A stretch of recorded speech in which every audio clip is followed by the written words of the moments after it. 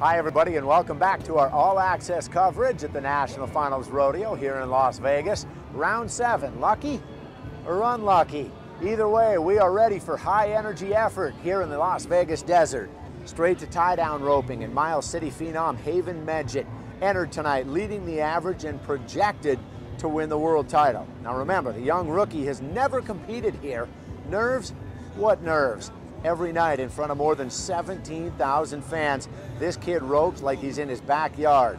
Tonight, not his best, 9.8, but nearly all the tie down guys struggled, so Haven actually wins money with 9.8 still leads the average. And we told you about his horse in sports at 5.30, but it's too good to pass up again right now. How about a jackpot Meged hit on social media? Folks, you ever wonder where great roping horses come from? I'm to tell you a story. This horse Bounce that he's riding, he bought him off Facebook. It's just a blessing that I stumbled upon her when I was on Facebook and to get to be a rider, and she just gets better every time. And getting to ride her here has just been awesome because she's so good everywhere. Do you think they have any regrets they let her go? Are you still oh, talk to the people? Oh yeah, I still talk to him a little bit, but uh, I, I don't know if he has any regrets. But uh, dang sure, I'm glad they sold her. Well, that's an understatement. The tens of thousands of dollars he'll win down here confirm it. Helena's Chase Tryan's doing damage. He and Brenton Hall stuck with a penalty tonight for a no time, so that hurts. They dropped from first in the average to fifth. Now, Chase grew up in Helena and says he's headed home for Christmas, but now living in Texas, where the weather, of course, is better to rope day in and day out. Not married, no kids, all business. It's revolved around roping. It just depends. When the weather's good, we rope in the morning. When it's kind of colder, we'll wait till the afternoons. But, I mean, rope 50, 60 steers a day.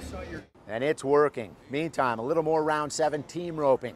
Chase's cousin Clay Tryan and Jake Long. Clay is on the money, but Jake only catches one leg, no time, no money.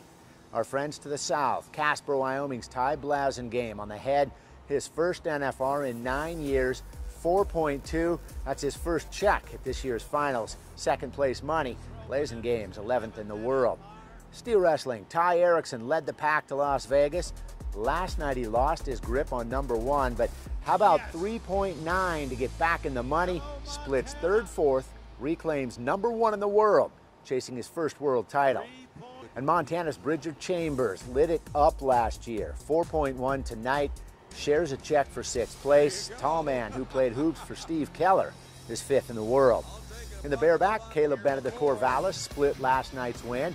Not quite there tonight, 81 and a half aboard Painted Bunny. No money, but he's still sixth in the world. Richie Champion, the new Stevensville resident, lives next door to Caleb. Pay the man 87 and a half points to split third, fourth. He's fourth in the world. And in the Saddle Bronc, Chase Brooks, the Deer Lodge Cowboy, 84 and a half points aboard Happy Valley. That's where Penn State is. He's happy tonight with a fifth place paycheck. And what about this? Only two Cowboys had won Saddle Bronc money in all six rounds. Brody Cress, another one of our friends in Wyoming, makes it money in all seven rounds. 86 points aboard Stroke and Tony. He's second in the average. He'll easily win over $100,000 in this stretch. Ryder Wright, by the way, is the other guy to make money in all seven rounds. He won it tonight. From here in the desert, three rounds to go in Las Vegas at the National Finals Rodeo. Scott Breen, MTN Sports.